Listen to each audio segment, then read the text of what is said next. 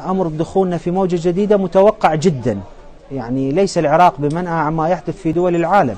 هذا الاحتمال وارد ووارد جدا وكذلك احتمال دخول المتحور الجديد أيضا.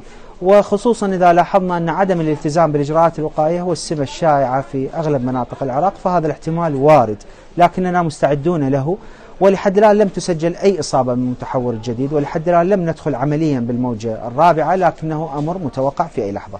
من جهة تطوير القدرات التشخيصية والعلاجية نعم زدنا من أعداد الأسرة المخصصة لعلاج مرضى كورونا ومن جهة أخرى التأكيد على ضرورة الالتزام بالإجراءات الوقائية وبكل صراحة التزام ضعيف استجابة ضعيفة وارتداء الكمامة يكاد يكون ظاهرة نادرة جدا في أغلب المدن العراقية. مع شديد الأسف رغم كل نداءات الوزارة وبياناتها المتعاقبة تقريبا بشكل يومي.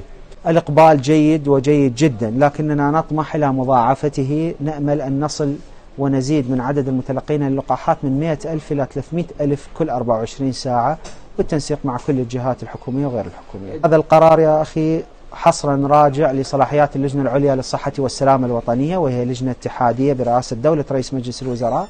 سيكون هناك اجتماع قريبا حول المستجدات وتعلن بشكل رسمي من خلال المكتب الإعلامي لدولة رئيس مجلس الوزراء.